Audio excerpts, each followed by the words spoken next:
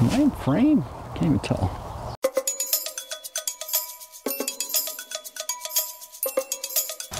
All right, guys, got another custom e-bike build.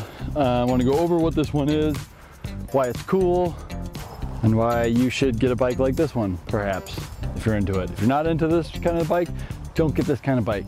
If you're new to this channel, I'm Johnny Nerdout. I convert bikes into e-bikes professionally. Done a few hundred of these bad boys now. This is a Cannondale Trail 5. Cannondale Trail 5. Cannondale Trail 5. It's a 29er. It's a hardtail. This is a great, excellent bike if you're looking for a budget mountain bike to convert. Brand new, I think these things are about 700, maybe 800 bucks. And they, they're gonna use good components on this. These are 29 inch tires by 2.1 inch tires, I believe. So these things are, this is built for speed. So this, if you're looking for a commuter, something to ride to work and back on, and then, you know, on the weekend, you wanna take it up to those trails that you drive by all the time in your car. And you're like, that'd be cool if I had a mountain bike, I could do that. Now you can. You can take this on those trails. You're not gonna get doing air on this. I don't recommend it at least. It's got a remote lockout right here for the for the fork, which is really nice. It's got a nine speed cassette in the rear. We went with the BBS HD motor. It's a 46 tooth chain ring, just a stock chain ring. Got a 52 volt, 17 and a half amp hour battery. These ones have the Samsung 35E cells, which are now getting more and more scarce. So we'll see, maybe by the time you're watching this in the year 2030, they'll be back in production and they'll be easily, readily available. But who are we kidding?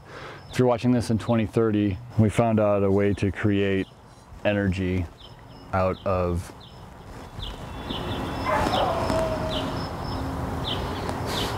What do we, what do we, I forget, somebody told me. So this crazy guy smelled like urine on the bus told me what we were gonna be using energy for in 2030 and I can't remember now. We put a gear shift sensor on it because this is a mid-drive.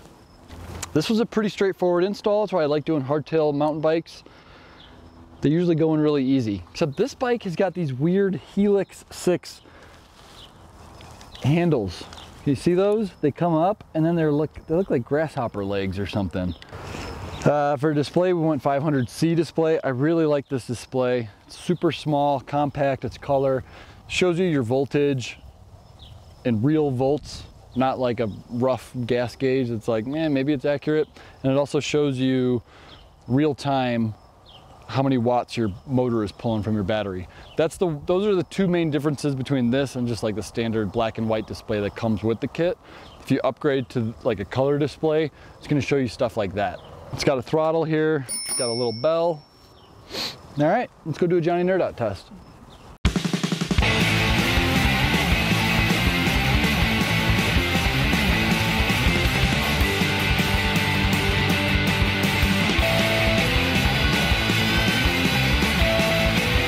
So you see 35, this was on a half charged battery. So I think if this was fully charged, this probably would have eked out about 36 miles an hour because he's got these like super thin 29 inch tires. So this thing is built for speed. Uh, hill climbing, that's where these big giant tires work against it. It's all about gear ratios.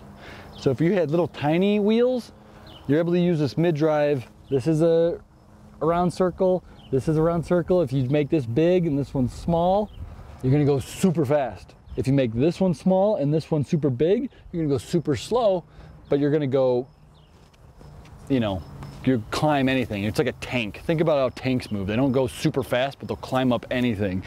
But then it's the opposite with this. If you went big, you got more speed. If you went small, I, confu I feel like I'm confusing myself. But anyways, uh, top speed was what 34, 35. Hill climbing was okay on this one from a from a dead standstill. Still will beat the pants off of any hub motor as far as hill climbing because you're using the gear ratio. All right, hopefully you guys found this helpful. Let me know if you got any questions. Um, yeah, thanks for watching.